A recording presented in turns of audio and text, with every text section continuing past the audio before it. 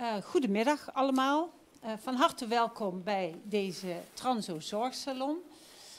Um, dit is de derde zorgsalon die wij online organiseren.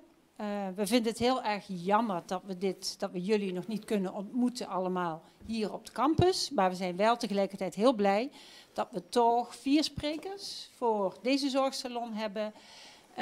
hier op, op locatie en dat we dus dadelijk uh, de vragen die jullie hebben, want die kun je stellen in de chat, dat, je die, dat we die in de discussie aan de orde laten komen met deze vier sprekers.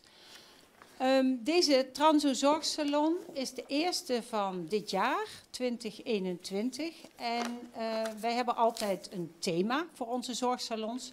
En dit jaar is het thema van de vier Transo-zorgsalons de waardevolle professional.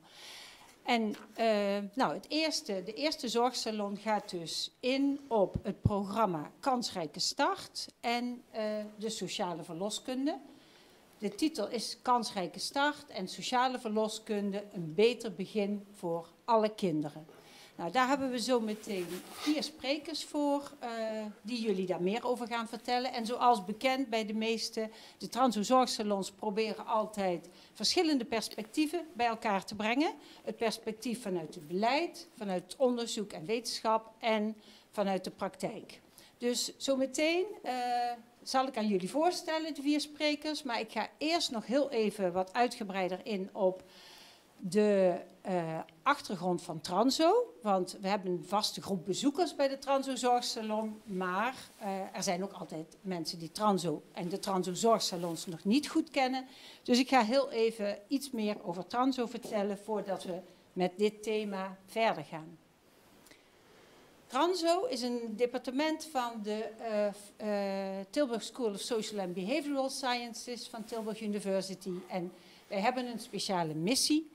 En dat is het verbinden van wetenschap en praktijk op het gebied van zorg en welzijn. Dat doen we door in co-creatie samen met praktijkprofessionals en met het beleid uh, te werken aan kennisontwikkeling en kennisuitwisseling. En op die manier willen wij het meer evidence-based of evidence-informed werken uh, bevorderen. Het evidence-based werken dat bestaat voor ons uit het integreren van drie kennisbronnen. Namelijk kennis van de, het wetenschap en onderzoek, kennis van de professional, van de praktijkprofessional, maar ook kennis van de zorgvrager en degene die wij graag willen ondersteunen, waar we het eigenlijk met z'n allen allemaal voor doen. Nou, en een uh, academische werkplaats is de manier waarop wij dat bij Transo georganiseerd hebben. In zo'n academische werkplaats gaan wij duurzame samenwerking aan uh, tussen uh, academici en onderzoekers, praktijkinstellingen.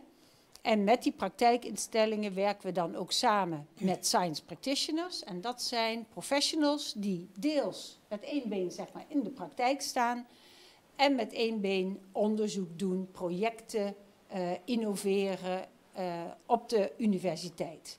Dus dat doen we in hele nauwe samenwerking met elkaar. En die science practitioner is dus eigenlijk de levende brug tussen wetenschap en praktijk.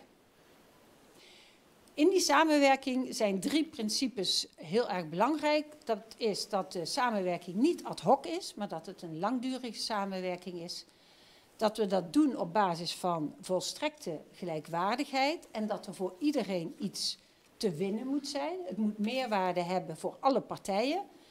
En daarin zijn heel belangrijk in die samenwerking de persoonlijke contacten. Nou, we hebben elf van die academische werkplaatsen. Hier zie je ze op een rij staan.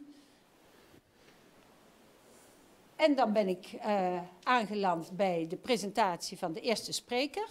We hebben dus vier sprekers, zei ik vandaag. Uh, ze stonden ook al op de uitnodiging. Uh, Atja Waalput, programmadirecteur Healthy Pregnancy for All van Erasmus MC uh, in Rotterdam, is de eerste spreker. Vervolgens, zij zal vooral ingaan op de, iets van de geschiedenis van het programma Kansrijke Start en hoe dat in Rotterdam zijn beslag heeft gekregen en hoe dat nu werkt.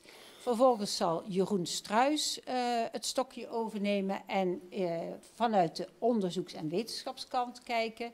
Wat wordt er gedaan om zoveel mogelijk op basis van cijfers ook en monitoring dit programma te ondersteunen.